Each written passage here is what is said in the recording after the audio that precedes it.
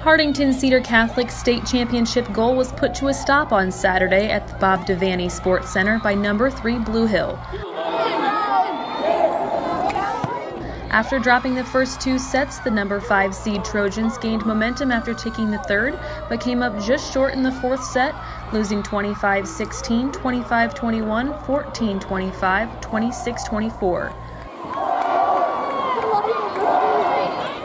For more photos, videos, and stories from the tournament, visit NorfolkDailyNews.com.